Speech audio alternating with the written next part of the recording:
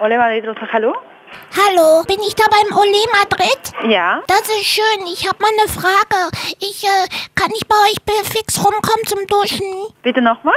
Weil der Opa war gestern bei euch und hat ganz viele Jalapenos gegessen. Ah, echt? Ja, und seitdem kommt er aus dem Klo nicht mehr raus.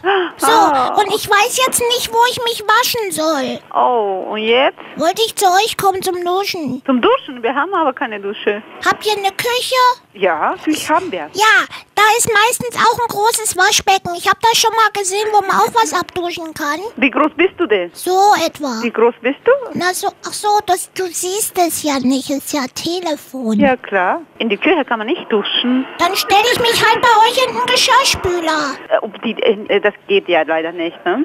Das geht nicht. Duschen in der Küche, das geht nicht. Ja, halt nur kurz wenigstens. Nee, also auf der Toilette kannst du auch Hände waschen oder... Na, das kann ich bei uns auch in der Küche. Ja, aber ich meine, der Opa bleibt nicht so lange im Bad, oder? Schon seit acht Stunden. Acht Stunden? Ja.